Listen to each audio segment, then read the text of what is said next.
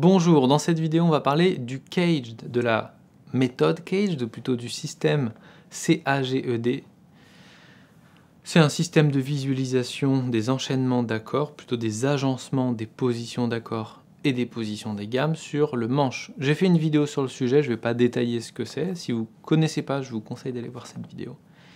Mais dans cette vidéo-là, aujourd'hui, je vais vous montrer comment se servir du 12 assistant pour justement bien travailler ça et bien visualiser ça. C'est un assistant, donc le 12 assistant, c'est un projet créé par Nico, qui est un guitariste passionné et qui est développeur, qui a créé un, outil sur Internet qui permet, donc il y a un assistant du guitariste en fait, qui permet de visualiser un manche et de visualiser plein de choses sur ce manche, donc des arpèges d'accords, des gammes, tous les accords et toutes les gammes qui existent à peu près, de créer des enchaînements d'accords aussi, d'essayer de faire détecter par l'outil quelles sont les gammes qui vont bien sur ces enchaînements d'accords, et pas mal d'autres possibilités, pas mal d'autres fonctionnalités comme euh, bah, il y a un accordeur, il y a un métronome, il y a plein de choses qui se créent au fur et à mesure. Il y a une communauté qui est de plus en plus en train d'évoluer et qui tourne autour de cet outil. C'est vraiment un outil que je trouve très bien, que je trouve formidable, on peut le dire. Et euh, c'est pour ça que je participe un peu au projet. Enfin, j'aide un peu Nico euh, pour faire certaines, pour prendre certaines décisions, ou plutôt je, lui donne mon avis, on va dire. Et donc, je vais vous montrer comment utiliser le 12 Assistant aujourd'hui pour bien visualiser le cage et bien intérioriser cette façon de, de visualiser les accords et les gammes. Donc ce qu'on va faire, c'est que la bonne façon de visualiser le cage, je pense, c'est d'afficher des arpèges d'accords. D'afficher un arpège d'accords sur tout le manche. Et on va prendre un accord majeur. Donc on va sur le 12. Donc on va euh, créer une, un accord. Donc on va dans accord et on va prendre un accord majeur. Donc, ben, accords principaux majeurs. Voilà, et on va l'afficher avec le 12. Comme ça. Donc là, on a, un accord, on a un accord affiché sur tout le manche.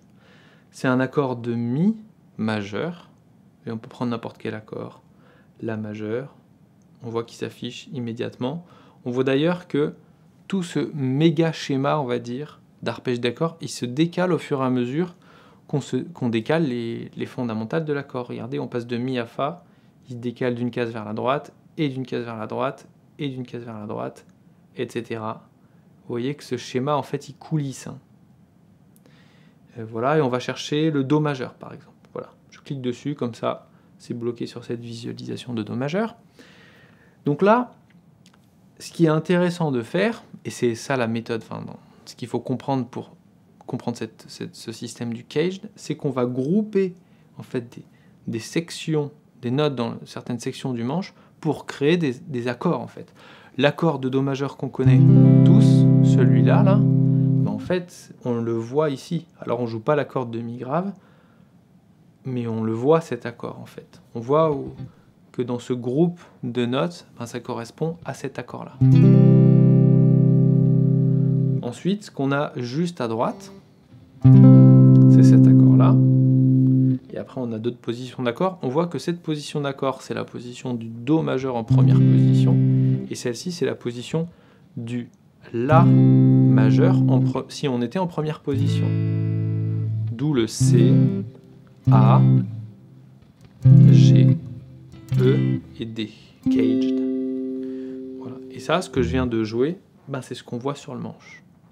Déjà, rien que ça, c'est assez riche en informations et cet outil, il, est, il nous aide énormément. Je pense que c'est une des grandes forces de cet outil, du 12 Assistant. C'est qu'en fait, avec la souris, on modifie deux, trois trucs, donc à savoir la fondamentale par exemple, et on voit les diagrammes qui se déplacent. Et ça, ben, des fois, juste ça, ça permet de comprendre pas mal de choses. Donc là, ce que je vais faire, déjà, je vais afficher plutôt, plutôt que d'afficher que des points avec la, la, fondamentale qui est indiquée, donc R pour euh, root, il y a différents modes de visualisation avec le nom des notes aussi. Moi, c'est plutôt celui-là qui m'intéresse. Comme ça, on voit où sont les tierces, les fondamentales et les quintes de l'accord. Et ce qu'on va faire, c'est que on va choisir un autre accord. On n'a qu'à prendre, je sais pas, on va prendre un accord de La majeur. Allez. un accord de La majeur, non, La bémol majeur. Allez, ok. La bémol majeur, on est dessus. Donc là, on voit les positions de La bémol majeur. Alors l'exercice que je vous propose, qui est un exercice, il y a plusieurs variantes de cet exercice qui sont possibles, mais moi c'est un exercice que je trouve assez complet et vraiment intéressant pour bosser là. Ça fait bosser plein de trucs, vous allez voir. Ce qu'on peut faire, c'est qu'on peut faire entendre une pédale, une note de, une note de La bémol qui, qui est tenue en permanence. On appelle ça un bourdon aussi. Donc, si je clique sur la petite icône du haut-parleur là, on entend un La bémol qui est tenu en permanence, qui nous donne en fait une référence. On n'a pas besoin de, d'enregistrer ça et de le mettre en loop ou quoi. On a l'outil qui le fait pour nous.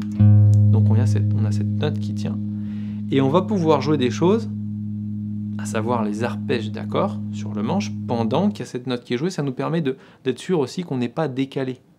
Voilà, si je me trompe d'une case et que j'arrive sur un La, ben ça, on va entendre que c'est pas ça, quoi. Donc c'est un bon repère et c'est vraiment très utile. Et donc ce que je vais faire, c'est l'exercice que je vous propose de faire, c'est en fait de regarder le manche sur votre écran et, et de ne pas regarder le vrai manche de votre guitare et d'essayer de vous décaler comme ça en faisant des groupes de notes. Alors ce que j'ai qu'à faire par exemple, c'est le, les trois notes aiguës, les trois cordes aiguës. Donc je peux commencer par... Je vais commencer par ça notes là, comme ça, ces trois cordes. Je peux faire ça aussi, c'est un peu plus dur. Mais tout ça c'est bon. Donc je regarde pas mon manche de guitare. Et donc là, on va dire que je suis pas à l'aise avec cet exercice. Donc ce que vous pouvez faire par exemple, c'est que cette note là, je vais l'utiliser pour une autre position, donc avec ce doigt. Donc voilà, je le mets là, je vérifie en écoutant que c'est la bonne note, c'est ça. Et donc là j'ai tierce, quinte, fond, tierce quinte fondamentale. Ok. Et après, j'essaie de me décaler. Alors, comment je peux faire? Va être dur de faire un jeté là. Je peux quand même essayer de prendre cette note, la tierce majeure avec ce doigt. Et je glisse de trois cases. J'arrive sur cet accord. Vous pouvez faire un jeté aussi si vous êtes euh, plus en confiance. décaler comme ce que je viens de faire, ben, vous fiez justement au bourdon pour vous recaler et trouver la bonne position. Donc là, j'ai la fondamentale qui est ici.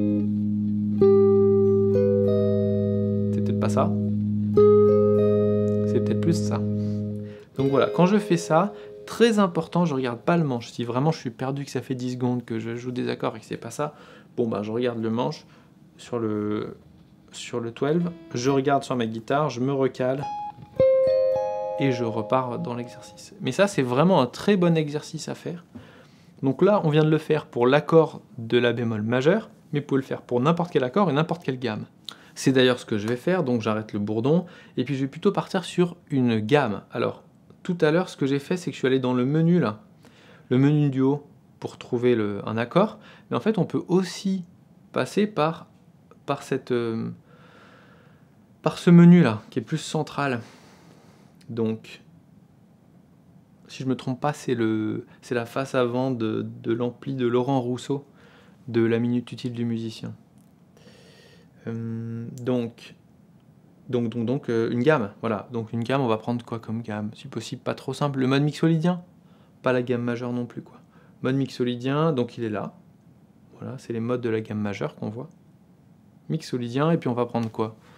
Allez, Fa dièse mixolydien. Je vais faire exprès de prendre des trucs un peu, un peu compliqués, parce que bah, vous voyez du coup que c'est pas compliqué, il suffit de mettre... Donc là, je choisis Fa dièse. Voilà. Et puis voilà, je mets mon, je mets mon bourdon, ça donne un petit repère. Euh, je peux d'ailleurs afficher, comme, je comme là, alors je vais couper ce bourdon pour l'instant, comme je suis sur une, euh, sur une gamme, euh, sur une gamme, et ben du coup je peux afficher les différentes positions du, du cage CAGED. Vous le voyez là, si je, veux afficher la position qui correspond à la position du La en première position, elle est ici. Le Do est ici, etc. Donc là, je reviens, oups, je reviens sur la gamme totale, et vous allez voir l'exercice qu'on va faire. Alors, euh, je vais afficher plutôt les, les rôles des notes. comme ça.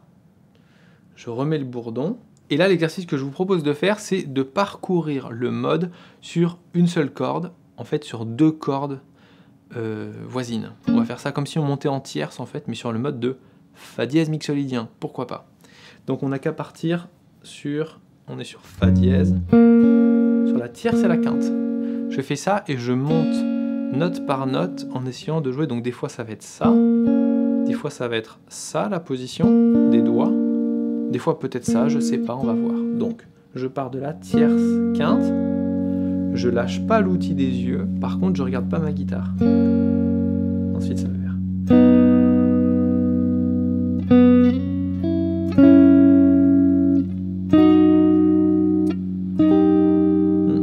je me suis trompé, c'était une case plus aiguë. Et après.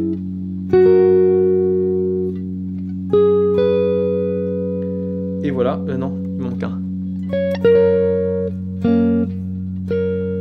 Voilà. Donc là, c'est très important. Vous visualisez où sont les notes, vous apprenez à, à les suivre. Et ce qui est ce que vous allez développer, en fait, c'est pour ça que je dis que cet exercice est vraiment complet, c'est que vous allez développer la capacité de compter les frettes que vous dépassez avec votre doigt. Là, en fait, quand je fais une, deux, trois, je sens les frettes sous mon doigt qui défilent, et ça, c'est très utile de savoir faire ça, parce que du coup, ben, vous allez être capable d'anticiper de combien de frettes vous vous décalez sans avoir à jouer la corde. Donc voilà, ce genre d'exercice, être capable de c'est comme quand vous regardez des diagrammes et que vous jouez juste en suivant les diagrammes, sauf que là, ben, les diagrammes, ils sont interactifs en fait. Hein. Vous pouvez euh, paramétrer l'outil comme vous voulez, vous pouvez afficher en gaucher si vous êtes gaucher. Voilà, est-ce que c'est pas merveilleux? Les diagrammes, c'est plus difficile de, les afficher en, gaucher. Donc voilà, ça c'est un outil. Euh, et là, j'ai fait juste quelques...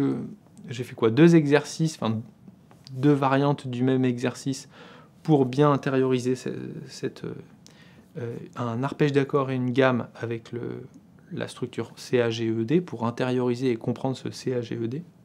Mais vous pouvez faire plein d'autres exercices avec cet outil qui est, qui est hyper euh, malléable en fait. Hein. Il y a, vous pouvez paramétrer plein de choses, vous pouvez créer vous-même vos propres gammes. Il y a plein de... Je ne vais, pas, vais pas tout expliquer de l'outil dans cette vidéo, mais c'est vraiment très intéressant pour bien visualiser le manche. J'espère que cette vidéo vous aura plu qu'elle vous permettra de peut-être de découvrir cet outil si vous ne connaissiez pas. Il y a une version gratuite, je ne sais pas si on peut faire tout ce que je viens de faire avec la gratuite, je ne pense pas. Euh, la version payante actuellement c'est 50 euros par an, et je vous conseille vivement de, participer au projet, enfin ben, d'y accéder évidemment, donc de vous abonner. Mais c'est aussi un projet qui est porté par quelqu'un qui est passionné, qui travaille à fond là-dessus, qui est très à l'écoute de, des besoins des utilisateurs. C'est en français en plus, donc ben, voilà, c'est bien quoi. Donc voilà, j'espère que cette vidéo vous a plu, et puis on se retrouve pour une prochaine vidéo, peut-être sur le 12 Assistant.